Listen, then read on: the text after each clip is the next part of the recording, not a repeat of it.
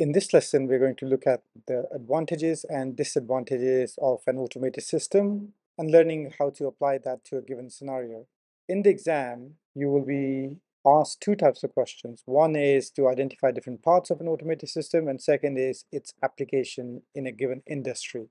So let's start by looking at some advantages and disadvantages of automated systems and once you understand those you can apply that to basically any context.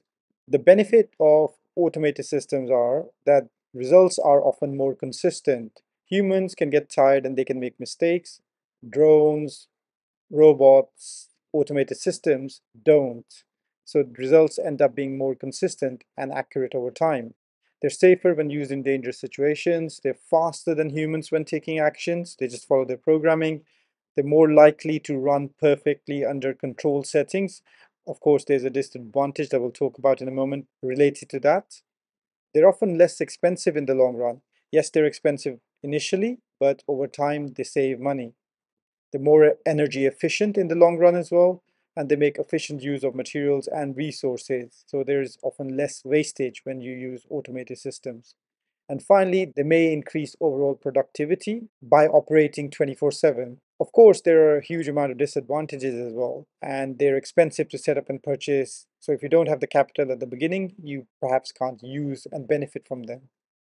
They can't deal with situations which they are not programmed for. So sometimes situations can occur where a human being can perhaps respond to them much more effectively than an automated system and they're susceptible to cyber attacks because they might be connected online. They also require enhanced maintenance, which can be costly because you have to employ engineers and technicians to service them. And of course, there are other disadvantages, which could include job losses, low level, low paying jobs are often at risk, and maybe you will need to retrain your workforce or staff and teach them how to use an automated system, and that can cost as well. In addition, engineers and technicians tend to be a lot more expensive to hire compared to people who work down on an assembly line. Now let's start looking at the scenarios that you might need to talk about and how automated systems could impact those. Now the advantages and disadvantages are there. These generally apply to most of these. However, we're going to look at the operation of each of these contexts. So we're going to start with automatic lighting systems. The sensors used generally are light and infrared sensors. The actuators are normally water pumps and switches, but if you're using it as part of a light display, then actuators come into play. Otherwise, most of the time, it's just sensors. Now, the impact based on the scenario that you're given could mean that you reduce energy consumption, you increase bulb life, for example. Those kind of things can come into play. So you will need to study the scenario and then work out what the impact is. So generally, how does this type of system work? You have light sensors which continuously detect analog light readings. These are then sent to a microprocessor via an analog to digital converter or ADC. The microprocessor will check against its programmed conditions and it will then do nothing or send a signal based on whatever condition that's been specified in the exam question to the actuator via a digital to analog converter. Because the microprocessor will make a decision digitally, the actuator might be an analog device. The actuator's purpose is to make a change in the environment and it can do that through the use of motors, pistons, fans or switches. In this case, the actuators could be used to turn a light on or perhaps an alarm on depending on what type of system it is. This entire cycle from sensing to processing to impacting the environment is continuous and it continues until it's turned off. So in exam questions, you normally get a mark for structuring your answer like this. Sensors detecting something automatically, passing the data on to the microprocessor, the microprocessor doing something with the data, then instructing the actuator to do something, turn something on, off, or activating something or the other and the entire cycle is continuous. So there's a mark for that particular line at the end of it. Normally this is around five to six marks and they're very easy marks to gain because the pattern is roughly the same for all scenarios. So let's look at another one. Here we're going to be looking at power stations, which is an industrial system. The sensors could be temperature, pressure, gas, or radiation, and this depends on the scenario again that you're given. Actuators are going to be water pumps, valves, automatic shutdown processes, These are used to make sure that the temperature doesn't go beyond the normal operating limits. The impact again is based on the scenario. In this case, you could talk about enhanced automation of the power station because it's an industrial process. You can talk about efficiency, you can talk about safety. But power stations are too important to leave in the hands of automated system. So generally a supervisor will monitor to override the system in an emergency because these kind of things happen. And if you read the news, you'll probably hear about things like earthquakes and tsunamis impacting power stations and manual shutdowns needed. So with the process, you'll probably see a pattern now. Sensors continuously detect analog readings, which are sent to the microprocessor via an ADC. The microprocessor will check against program conditions, and if it meets those conditions, it acts or doesn't act according to the scenario. It sends a signal to the actuator via digital to analog converter, and the actuator makes a change in the environment, perhaps turns a valve on or off, or starts the water pump, or stops water, initiates alarms, things like that. And this entire process or this entire cycle is continuous until turned off. Now for power stations, sometimes the microprocessor is called the distributed control system, which basically means that you're distributing control over a number of systems, which builds in redundancy and backup just in case something fails. You don't need to go into a lot more detail about this term. Just remember that if it comes up in the exam, it basically means decision making and involves a number of microprocessors and this repeats for other industrial systems as well. On screen, you see medicine manufacturer. Here, perhaps sensors like temperature, pH, infrared, and pressure are operating. Actuators are valves and switches. And again, this is based on the scenario. Enhanced automation, efficiency, again, are key gains. And generally, medicine is too important to leave in the hands of automated systems, so a supervisor will monitor to override the system in an emergency here as well. The process is exactly the same. Sensors continuously detect analog readings, which are sent to the microprocessor via an ADC.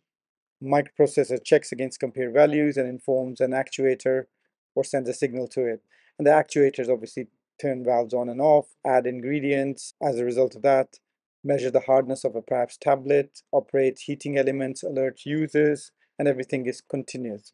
You normally get a mark for everything is continuous and the use of sensors and the use of microprocessors against programmed conditions. So these are easy marks to get.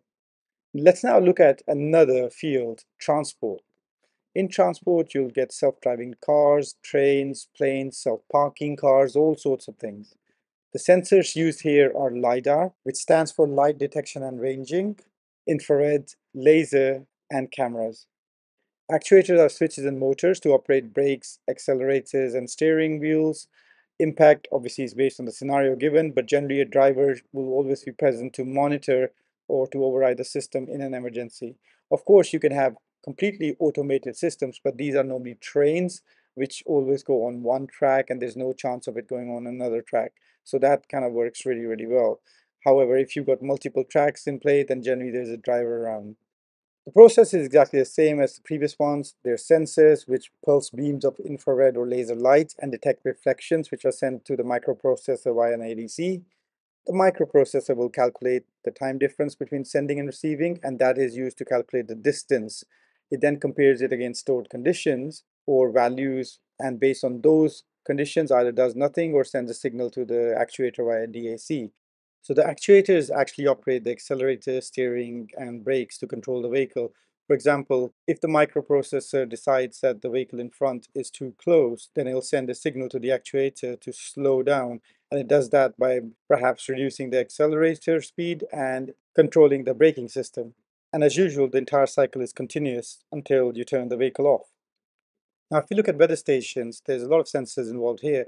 Generally, weather stations aren't really suitable for automated systems. However, they are becoming more and more important. They're being linked to motors and sprinklers and all sorts of things. We're going to look at a basic weather station. Here you'll have sensors which include temperature, wind speed, humidity, air pressure, rainfall, light sensors, all kinds of sensors.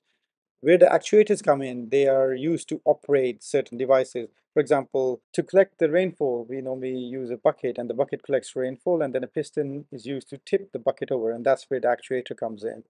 Of course, there are things like alarms that might need to be sounded if the level of rainfall is too much. All of those kind of things come into play. The impact is again based on the scenario given. However, the benefits are they offer 24-7 monitoring. We can use weather stations in hazardous conditions. For example, in extreme weather conditions, during hurricanes, weather stations could still be used to measure wind speed and things like that, rather than having human beings in harm's way. Process is once again the same. Sensors record analog data, which is sent to the microprocessor. The microprocessor then compares it against stored conditions and then informs an actuator to do something. And the entire cycle is continuous until turned off. So do pause the video and make sure you jot down how individual systems operate because you never know which type of scenario might come up.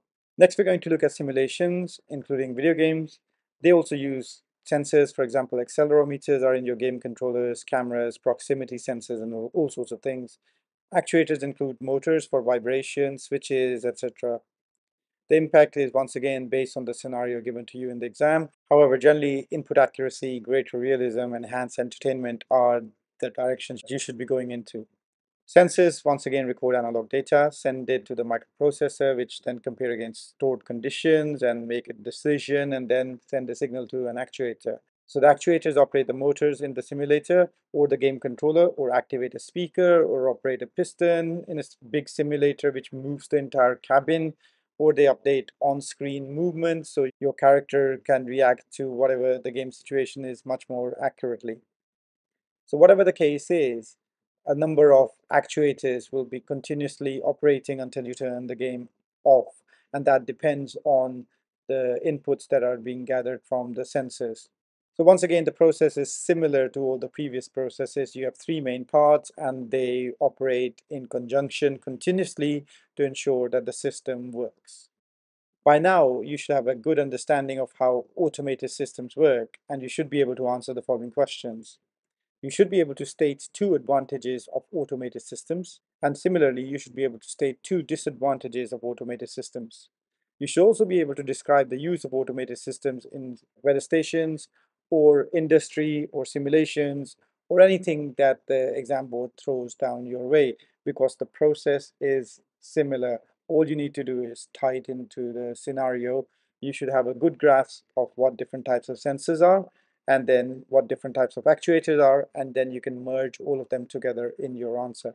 This is normally a four to six mark, possibly seven mark answer at times, and you should be able to claim all the marks with ease. That's all from me for now. If you have any questions, please do write in the comments. Otherwise, I'll see you in the next one.